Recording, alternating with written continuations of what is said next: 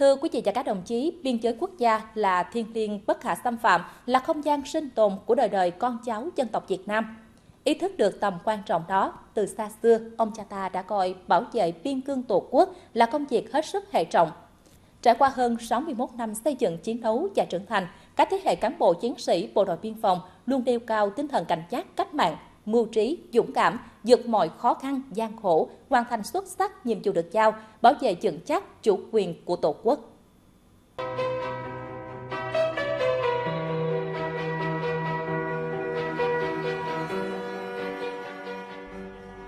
Xuất phát từ vị trí tầm quan trọng của biên giới quốc gia, Đảng, Nhà nước và Chính phủ luôn quan tâm và đã ban hành các nghị quyết chỉ thị về xây dựng và bảo vệ Tổ quốc. Đặc biệt ngày 28 tháng 9 năm 2018, Bộ Chính trị ban hành nghị quyết số 33 về chiến lược bảo vệ biên giới quốc gia và xác định đây là vấn đề chiến lược lâu dài của Đảng, Nhà nước trong xây dựng và bảo vệ Tổ quốc và yêu cầu xây dựng lực lượng vũ trang nhân dân, bộ đội biên phòng, cách mạng chính quy, tinh nhuệ, từng bước hiện đại, một số thành phần tiến thẳng hiện đại đáp ứng yêu cầu làm nòng cốt, chuyên trách quản lý bảo vệ biên giới quốc gia trong tình hình mới và sớm ban hành luật biên phòng Việt Nam. Việc xây dựng ban hành luật là bước đi cụ thể hóa quan điểm của Đảng theo nghị quyết số 33 của Bộ Chính trị, thể hiện toàn diện đầy đủ nguyên tắc thực thi nhiệm vụ biên phòng nhằm khắc phục hạn chế và những bất cập trong pháp lệnh Bộ đội biên phòng. Trong pháp lệnh thì mới quy định được chức năng nhiệm vụ quyền hạn bộ đội biên phòng và chưa thể hiện được cái nhiệm vụ có quyền hạn của các lực lượng khác ví dụ của lực lượng công an ví dụ của lực lượng hải quan trách nhiệm của các bộ ngành cũng như trách nhiệm của địa phương có biên giới lợi dụng sự thông thoáng trong quy định xuất khẩu hàng hóa 40 kg ma túy dạng đá mà lực lượng biên phòng vừa phát hiện bên trong những khối đá này khi đang được chuyển xuống tàu sang cảng Incheon của Hàn Quốc. Song nhờ có những biện pháp nghiệp vụ, Bộ đội biên phòng đã phát hiện vụ vận chuyển trái phép chất ma túy. Theo quy định hiện hành, Bộ đội biên phòng không phải là lực lượng chủ trì kiểm soát hàng hóa. Vì vậy, nếu không có biện pháp nghiệp vụ sắc bén và sự phối hợp chặt chẽ thì dễ bỏ lọt tội phạm. Luật pháp không quy định cho biên phòng được áp dụng biện pháp kỹ thuật thì là cái rất khó. Người ta được hưởng luồng xanh thì không được tự nhiên để mà dừng lại được. Thì anh phải có các biện pháp trinh sát, biện pháp kỹ thuật thì anh mới yêu cầu hải quan để dừng cái lô hàng đó và anh kiểm tra. Khi kiểm tra nếu không có thì anh phải chịu nhiệm trước pháp luật. Không chỉ kiểm soát chặt chẽ các đường mòn lối mở qua biên giới, thời gian qua, lực lượng bộ đội biên phòng còn phải căng mình lập chốt ở địa bàn biên giới, nơi dịch Covid-19 bùng phát và diễn biến hết sức phức tạp. Để dịch bệnh không lây lan, Bộ đội biên phòng đã tổ chức lực lượng kiểm soát, ngăn chặn qua lại biên giới và sử dụng quân y tiến hành các biện pháp phòng dịch trong điều kiện quân số thiếu, thời gian dài, trang bị phương tiện thiếu thốn và hành lang pháp lý quy định về tham gia phòng chống dịch bệnh cũng đang là vấn đề đặt ra.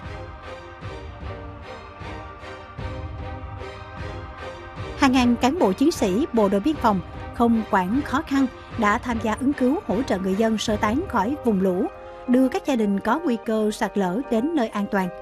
chuẩn bị lương thực thực phẩm, nhiên liệu để ứng phó khi có tình huống xảy ra.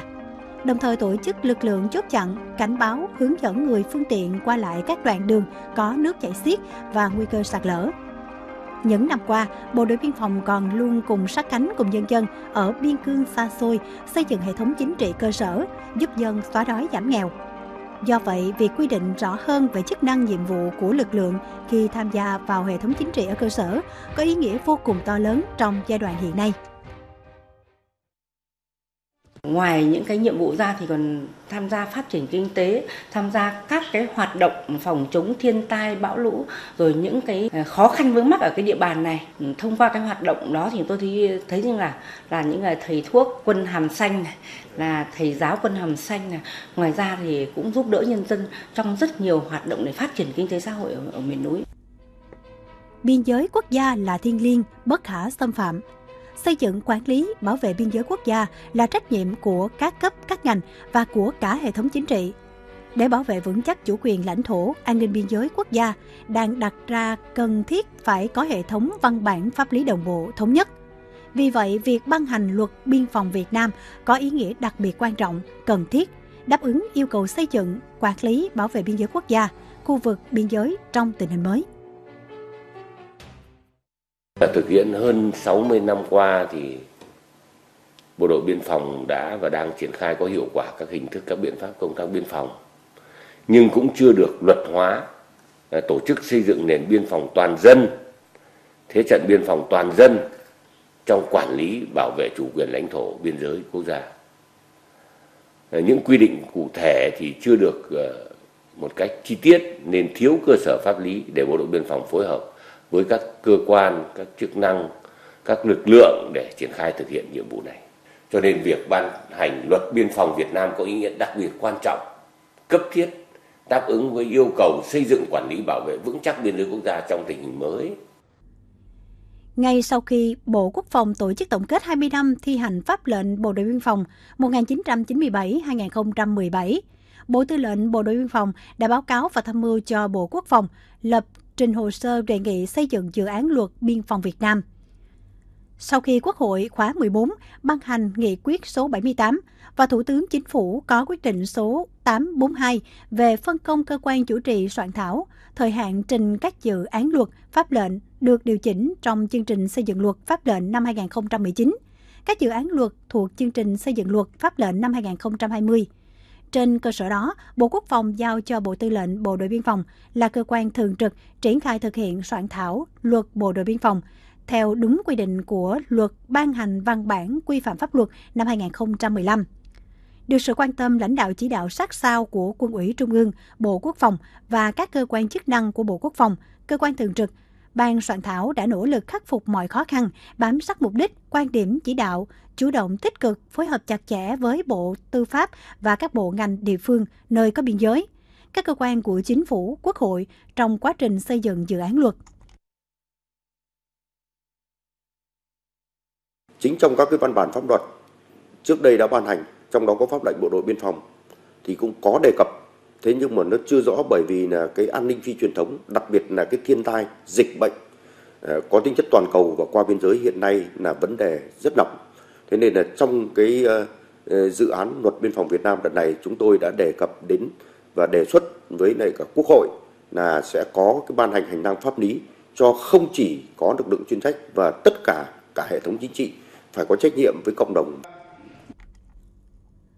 Tâm huyết, trách nhiệm và cầu thị trong suốt quá trình xây dựng luật biên phòng Việt Nam. Tại phiên họp thứ 43, Ủy ban Thường vụ Quốc hội đã thảo luận và nhất trí thông qua dự án luật biên phòng Việt Nam, giao cơ quan soạn thảo và các cơ quan liên quan tiếp thu ý kiến, hoàn thiện dự án luật trình Quốc hội. Khi đã nâng nó lên từ cái pháp lệnh mà trở thành luật, đấy, thì bao giờ nó cũng đòi hỏi một cái tầm cao hơn nó tầm cao hơn và nó vừa là tổng kết tại thực tiễn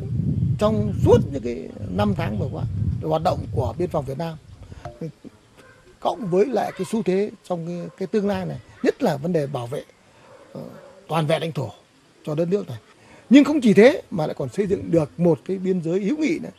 đấy là đoàn kết thống nhất với bè bạn chúng ta là đất nước như thế bè bạn. Thế thì nhiệm vụ đó là nhiệm vụ cho biên phòng. Cho nên tôi thấy là cái vai trò nòng cốt nhất là biên giới thì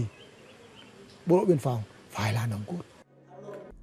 Niềm mong chờ của các thế hệ cán bộ chiến sĩ bộ đội biên phòng và đồng bào nơi biên giới về một văn bản pháp lý đáp ứng yêu cầu nhiệm vụ quản lý bảo vệ chủ quyền, an ninh biên giới quốc gia trong tình hình mới đã được thực hiện. Chiều ngày 11 tháng 11 năm 2020,